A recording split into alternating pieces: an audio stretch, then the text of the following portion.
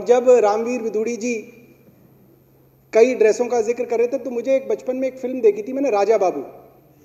उसमें गोविंदा और करिश्मा कपूर थे।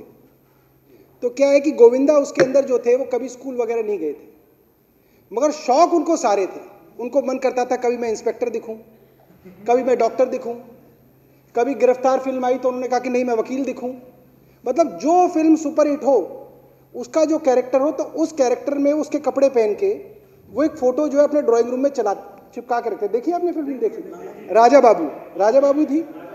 तो क्या जब उनका रिश्ता हुआ और रिश्ते वाले आए तो उन्होंने सारी फ़ोटो देखी। एक में गोविंदा इंस्पेक्टर में थे, एक में डॉक्टर थे, एक में वैज्ञानिक थे, एक में जो वो, क्या कहते हैं वो एडवोकेट थे।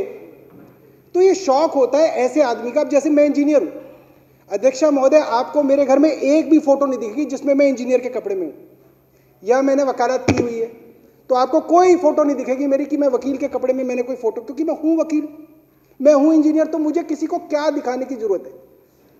जैसे मैं एमएलए हूँ तो मेरे यहाँ कोई ऐसी फ़ोटो नहीं है जिसके अंदर मैंने जो है कोई ऐसी चीज़ दिख रखा रखी हो या लिख रखा हो कि मैं एमएलए हूँ भाई। ये क्या होता है? कि इंफीरियोरिटी कॉम्प्लेक्स होता है आदमी के अंदर, जिसके अंदर प्रबल भावना हो। इच्छा हो कुछ बनने की, मगर पढ़ाई ना करने के कारण वो कुछ नहीं बन पाया।